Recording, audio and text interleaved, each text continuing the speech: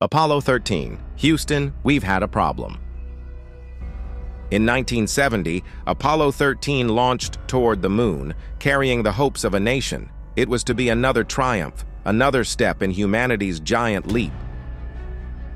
But three days into the mission, a routine stir of oxygen tanks triggered a catastrophic explosion. The words crackled across the void. Houston, we've had a problem.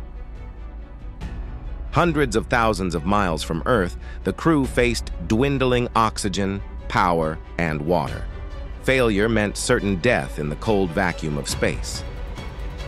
Engineers and astronauts worked tirelessly, improvising solutions against impossible odds. Every calculation, every maneuver was a gamble with life and death hanging in the balance.